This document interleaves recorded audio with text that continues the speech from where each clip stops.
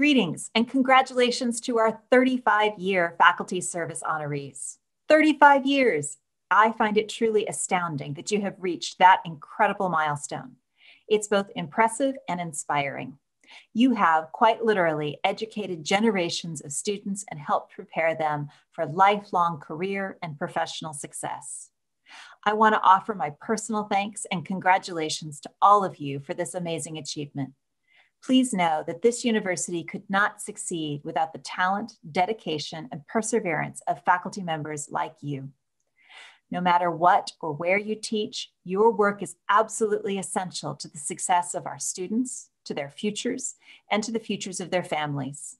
Quite simply, we could never have been named most transformational university without people like you. So, on behalf of my colleagues and the entire university community, I am delighted to offer my heartfelt gratitude and congratulations on your 35 years at San Jose State. Thank you for all that you have done and continue to do. Now, let's take a look back at an earlier era when our 35 year honorees began their careers at San Jose State.